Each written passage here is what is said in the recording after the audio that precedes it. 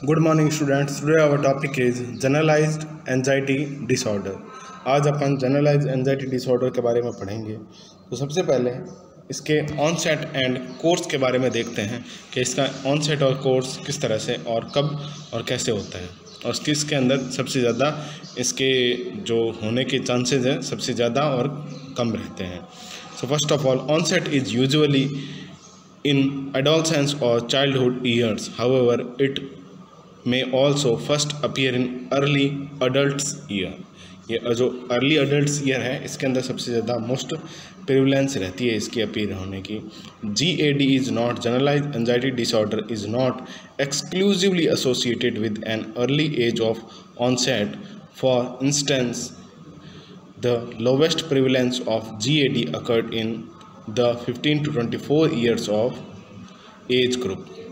For example इसके अंदर बताया है कि जनरलाइज एनजाइटी डिसऑर्डर ये एक्सक्लूसिव नहीं होता है और अर्ली और अर्ली एज में इसका ऑनसेट नहीं होता commonly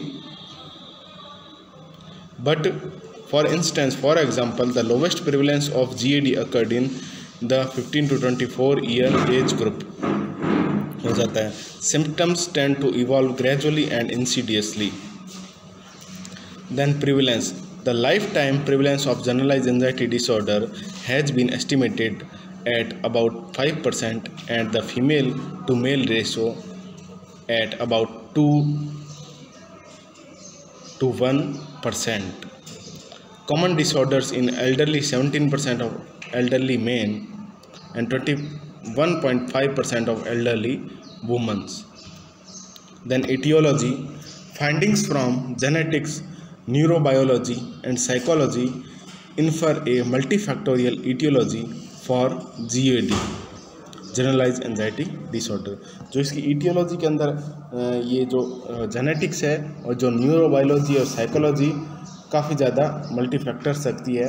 Then several finding support to presence of abnormality in GABAergic and noradrenergic activity जो GABAergic and non adrenergic activities हैं, वो भी काफ़ी ज़्यादा कॉजेज के रूप में पाई जाती है।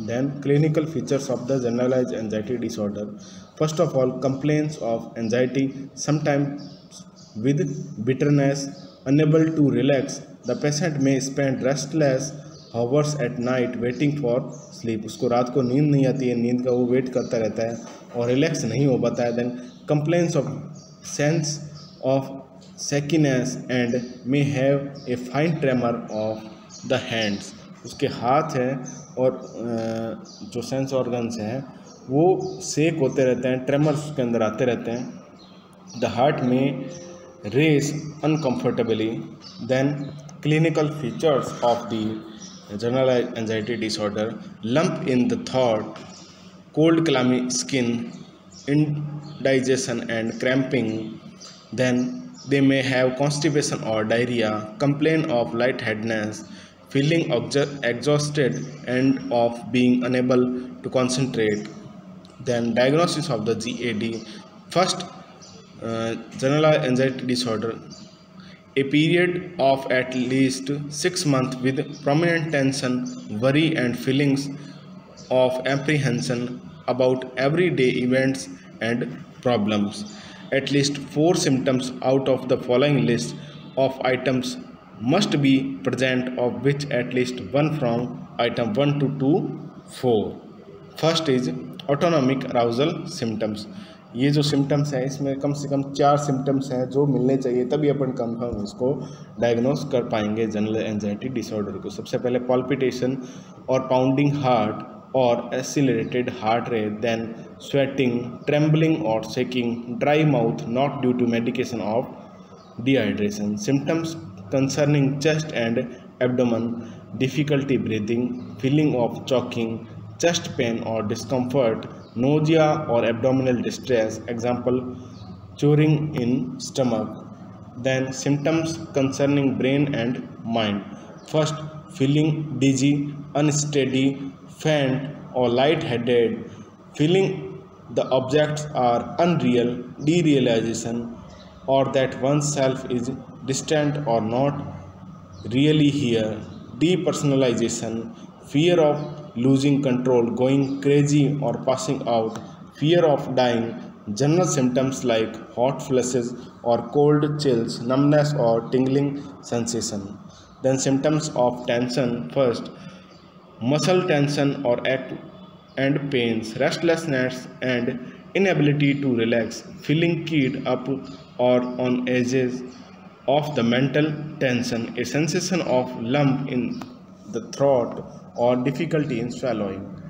Then other non-specific symptoms first exaggerated response to minus surprises or being stratified then difficulty in concentrating a mind going blank because a worrying or anxiety persistent irritability then difficulty getting to sleep because of worrying. So these are the common uh, and non-specific symptoms of GAD then the disorder does not meet the criteria for panic disorder phobic anxiety disorder obsessive compulsive disorder hypochondrial disorder most commonly use exclusion criteria not sustained by physical disorders such as hyperthyroidism and organic mental disorder or psychoactive substance related disorders F1 such as excess consumption of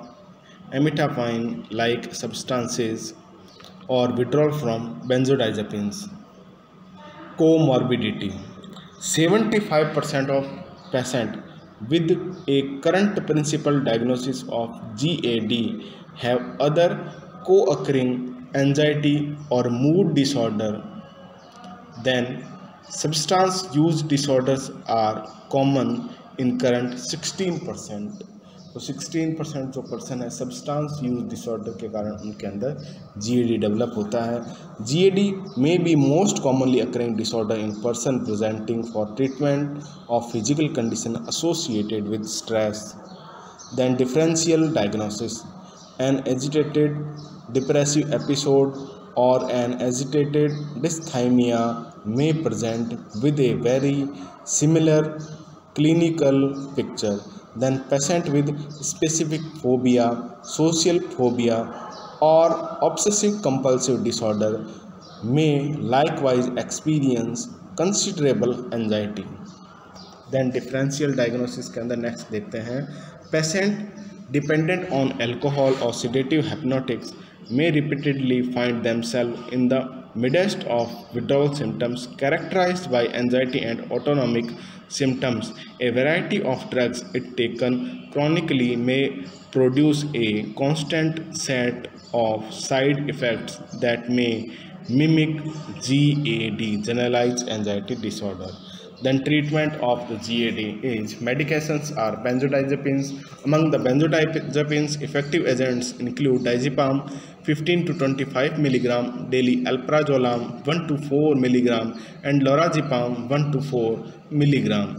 Hydroxyzine and antihistamine similar to diphenylhydramine is more effective than placebo when given in total daily doses of approximately 50 milligram. Propranolol may relieve the peripheral manifestation of anxiety such as tremor and tachycardia. The effective dose ranges between 16 and 250 milligram. Then treatment next psychological treatment. First तो therapies इसके अंदर काम मिलेंगे supportive psychotherapies relaxation therapies biofeedback and CBT cognitive behavioral therapy. Cognitive behavioral therapy CBT has been found associated with clinically significant improvement in many RCTs. It consists of psychoeducation about the natures of anxiety, symptoms monitoring, relaxation training, exposure and cognitive restructuring. Recent developments in psychological treatments for GAD have integrated mindfulness approaches into traditional CBT. Thank you everyone.